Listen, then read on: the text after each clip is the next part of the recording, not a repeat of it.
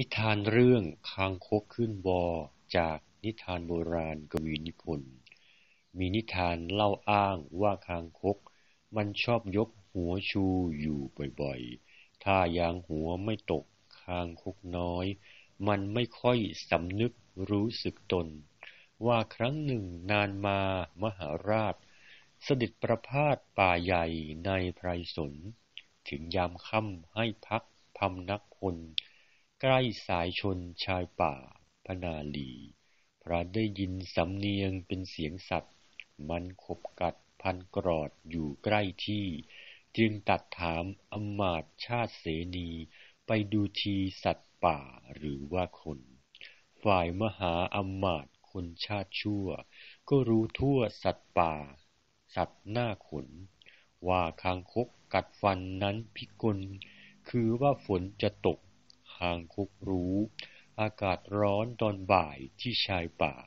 มันครึ้มฟ้าครึ้มฝนชอบกลอยู่ คางคกรู้ว่าฝนจะรนพรู จึงเรียกคู่มาชมผสมพันธุ์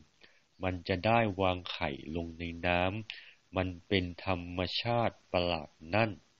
จึงกัดฟันกรอดทำเป็นสำคัญอมาตมันรู้แท้อยู่แก่ใจ มันแซงเรียบลำธารไปนานอยู่ ทำเป็นดูทำเลทะเลถลายแล้วกลับมาทูลองค์พระทรงชัย โกหกให้โปรดปรานนายไปนานช้า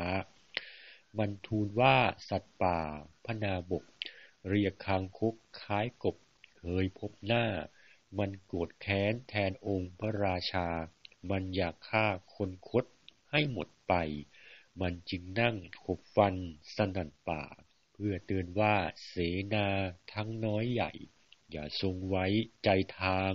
วางใจใคร ระวังระวัยดูหน้าปัจจามิ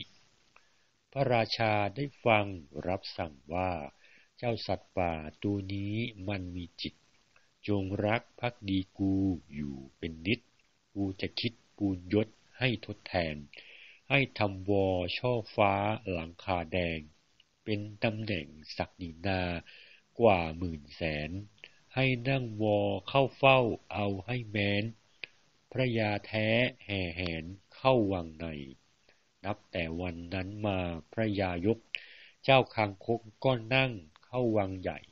เจ้าคังคกขึ้นวอล้อกันไป หัวร่อไม่ใคร่ออกต้องกรอกตา เจ้าคังคกขุนนาง นั่งคางแข็ง มีตำแหน่งแห่งที่มียศถา นั่งขึ้นวอเข้าวังทุกวันมา เป็นพระยาคางคกเขายกกัน วันหนึ่งเกิดอัปรีกาลีบ้านขชาทาแลลี่ไม่มีขวัญ เข้าเหยียบวอคางคกยกไม่ทันคางคกนั้นมรณาอยู่คาวอ